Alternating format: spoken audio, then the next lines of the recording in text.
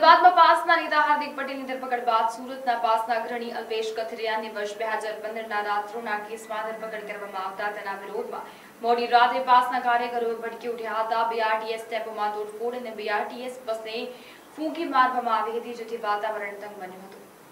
અમદાવાદમાં પાસના નેતા હાર્દિક પટેલની ધરપકડ બાદ સુરતના પાસના અગ્રણી અલ્પેશ કથિરિયાની વર્ષ બે હજાર પંદરના રાત્રોના કેસમાં ધરપકડ કરવામાં આવતા તેના વિરોધમાં મોડી રાત્રે પાસના કાર્યકરો ભડકી ઉઠ્યા હતા. બીઆરટીએસ ડેપોમાં તોડફોડ અને બીઆરટીએસ બસને ફૂંકી મારવામાં આવી હતી. જેથી વાતાવરણ તંગ બન્યું હતું. હાલ થાણા પોલીસ પર ટોળા સામે રાઉટિંગના બે અલગ અલગ ગુના નોંધવામાં આવ્યા છે, જ્યારે પાટીદાર વિસ્તારમાં સિટી બસ અને બીઆરટીએસ બંધ કરી દેવામાં આવી છે અને એસટી રૂટને ડાયવર્ટ કરી દેવામાં આવ્યું છે.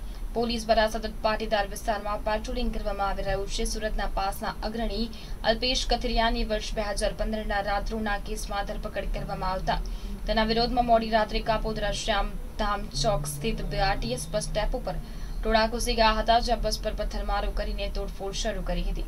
જેથી બીઆરટીએસ બસને નુકસાન નહીં થાય તે માટે સલામત સ્થળે લઈ જવામાં આવી રહી હતી. ત્યારે નજીકમાં જ રસ્તામાં બસ રોકી આગ ચાંપી દેવાઈ હતી. પૂણા સેમાડા રોડ પર મહાલક્ષ્મી સોસાયટી પાસે કાર અટકાવીને કાર તોડી નાખ્યા હતા. યોગી ચોકમાં ઠેર ઠેર રસ્તા પર ટાયર સળગાવી વિરોધ કરાયો હતો. મામલો તંગ બનતા વરાછા, કાપોદરા, સરથાણા, યોગી ચોક, પુણા વિસ્તારમાં કડક પોલીસ બંદોબસ્ત તૈનાત કરાયો હતો અને સરથાણા પોલીસ પર આ ટોળા સામે રાયોટિંગના બે અલગ અલગ ગુના નોંધવામાં આવ્યા છે, જેમાં સરકારી સંપત્તિને નુકસાનને લઈને ગુનો નોંધવામાં આવ્યો હતો. Bureau report, NS Gujarat news.